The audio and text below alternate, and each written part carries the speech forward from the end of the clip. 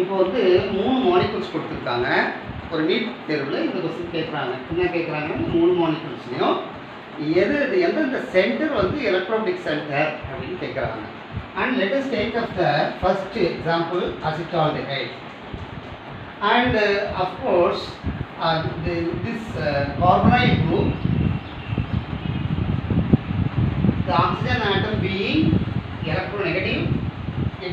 the bonded electron towards itself.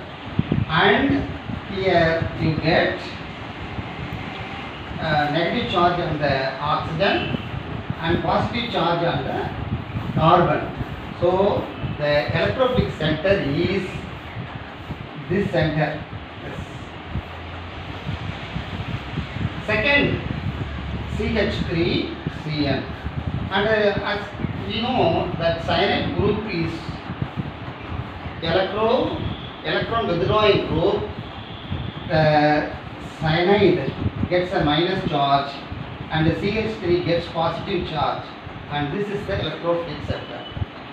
So in this case this part is this center is the electrophilic center. In the CH3I this being electronegative atom this attracts the bonded electron towards itself as a result this is the center of the this this part this center is getting a minus charge and this gets positive charge. And uh, since it is positive positively charged this gets uh, this is the electrophilic center for the reaction. Thank you